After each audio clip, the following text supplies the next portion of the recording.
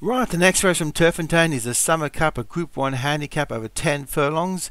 Uh, one is Cuban Manananan, Davy Robertson. Two, Life Outlooks, Davy Robertson. Three is World Class, Dave Hoody. Four is Dr. DeRuve, Patrick Hogan. Five is Ajan Giz, Darren Thompson. Six, Mystic Guard, Dan Hughes. Seven, Nashville Hunter, Vinnie Gerard.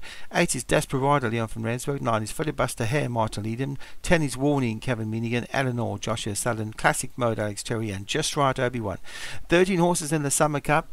Remember, next season will be in September.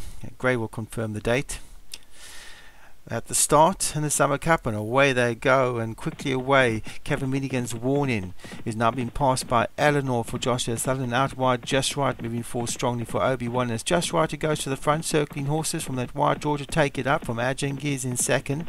Then Kevin Minigan's warning on the inside of Life Out looks followed behind that by Filibuster Hare for Martin Needham. On the rail we have Nashville Hunter very wide at this stage is Desperado with on his inside Cuban Mananan. And Eleanor's dropped back to fourth from last Mystic Guard behind that. Dr. DeRuve is at the back of the field with world class.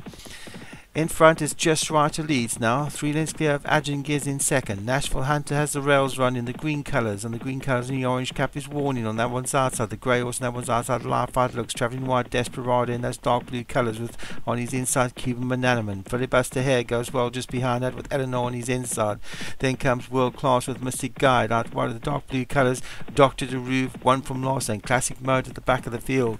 Just Right getting on with things up front. Says as fast pace and Warning in second. On the inside, Nashville Hunter out wide, Ajan Giz. Then the grey horse. That's uh, Life Out looks Desperado still wide.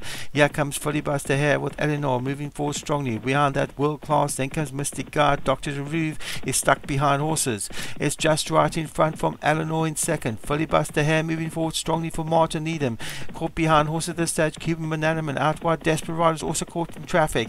It's in front. It's just right. Eleanor out wide moving on strongly as Life Out looks. Then Filibuster Hare also wide is Warning. They've got two and a half furlongs left to go. Life Outlooks from just right. Uh, Desperate Rider trying to run on with World Class who's come from the back of the field.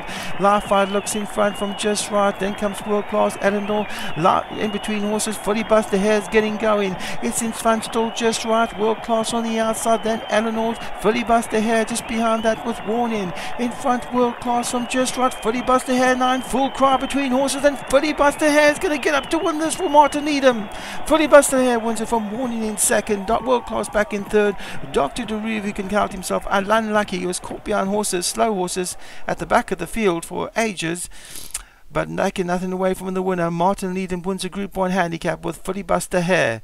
Warning in second, World Class was third. Back in fourth was Dr. DeRuve for Padre Gogan, and Classic Mode came from Stone last to finish first for Alex Cherry in the Group 1 handicap. But the winner, Filibuster Hare for Martin Eden. Remember, we'll be back in September for the next season of Starters Order 7.